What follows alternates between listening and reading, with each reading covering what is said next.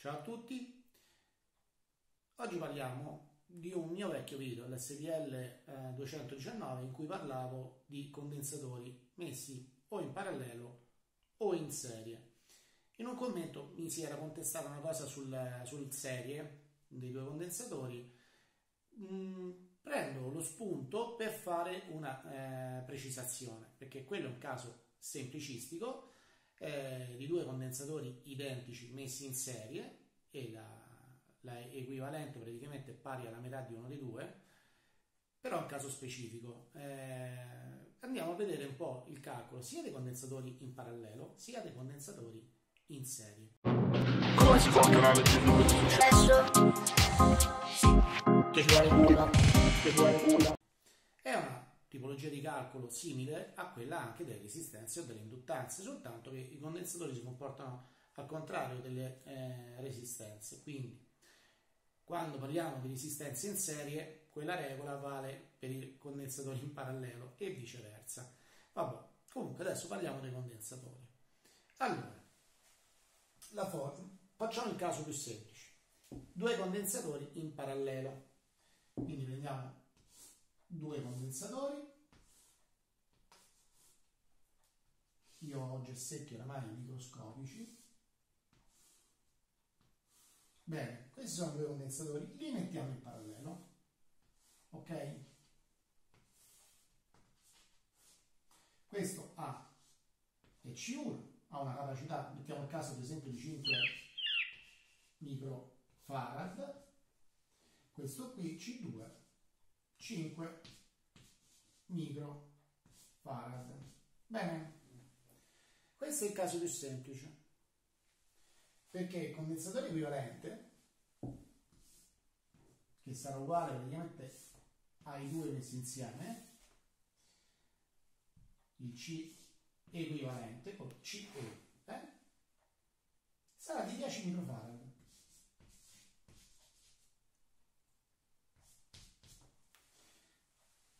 Praticamente CE è uguale a C1 più C2. Molto semplice. Se so 3 è uguale, sarà C1 più C2 più C3, se so 4 C1 più C2 più C3 più C4 e, e così via. Questo è il caso più semplice. Prendiamo qui la, questa specie di, di cancellino che più che cancellare sporca Questa è una lavagna finta fatta con la vernice, non è una lavagna di ardese. Bene, facciamo il caso quello più complicato. I condensatori in serie. E qui facciamo proprio il caso di quel video lì, va? Ok? Bene. I condensatori sono in serie. La, questi C1 e questi C2. Il C equivalente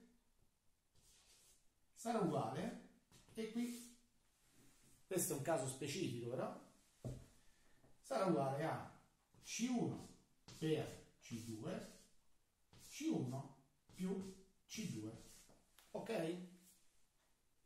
C1 per C2 fratto C1 più C2 nella fattispecie di quello lì dove c'erano due condensatori da 700 farad eh? 700 farad 700 farad che io ho detto semplici, in maniera semplicistica saranno 350 microfarad è uno dei due diviso 2 praticamente. È vera. Andiamo a gessetto infatti qui mettiamo praticamente 700 per 700 700 per 700 diviso 700 più 700. Questo diventa 1400. Qui sopra diventa 490.000. Se fate questa divisione, quanto fa? 350.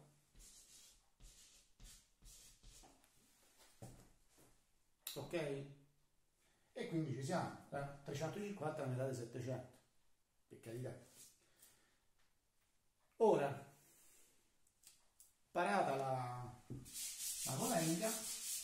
Andiamo a vedere però il caso generale, cioè normalmente com'è il calcolo. È un po' più difficile, questo è un caso specifico, perché noi eventualmente potremmo avere anche che i condensatori non sono tutti della stessa misura. Diciamo, cioè non è un caso tanto frequente, perché se noi andiamo a fare una batteria di supercondensatori o di condensatori in un alimentatore, generalmente vabbè, li mettiamo in parallelo. Nei supercondensatori succede che la tensione di esercizio è molto bassa, quindi per eh, avere tensioni di esercizio più elevate purtroppo non rimane che eh, metterli in serie perché in quel caso la tensione di esercizio si somma. Quindi quando adesso si vanno a fare batterie di supercondensatori, essendo in genere la tensione di esercizio di un supercondensatore circa 3 volt, se dobbiamo ottenere i 12 volt ne dobbiamo mettere 4 in serie praticamente. E a quel punto la capacità complessiva è un quarto rispetto a quella di un singolo condensatore.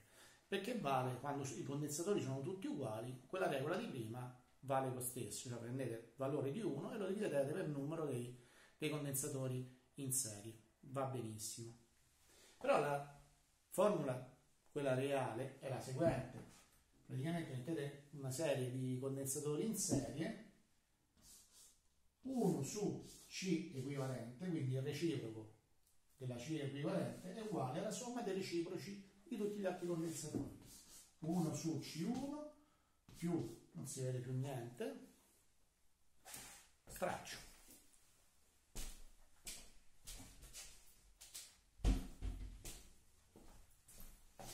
Mi piacerebbe tanto vedere la lavagna di Arbesia.